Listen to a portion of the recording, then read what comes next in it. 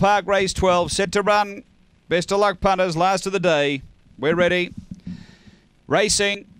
Speed here shown from the inside. Kriegel cut it, got chopped down though. Uh, Sunny Aura chopped down to lead, and Tilga Joy got in front of it. Getting to third is Dodgy Cookie. Uh, shuffle right back now. Kriegel cut. Green Thief got to third, just in front of it. Dodgy Cookie actually. Then came Justice Dusty. Kringle cut and Cool Roller, but straightening Tilga Joy clear of Sunny Aura, and Tilga Joy beats Sunny Aura. Third home, uh, Green Thief, and then Dodgy Cookie. Uh, next is Krinkle cut from Justice Dusty. Uh, back toward the tail was Cool Roller and our Cosmic Diva. It was back at the tail end. 22.67 the run. Numbers here. Uh, it's 5, 2, 7, and fourth home. We stand by. It's number four. Five, the winner. Uh, Tilga Joy, Karen Woodholtz, Black Bitch, May 2015. Barcia Bale, Bally Swift.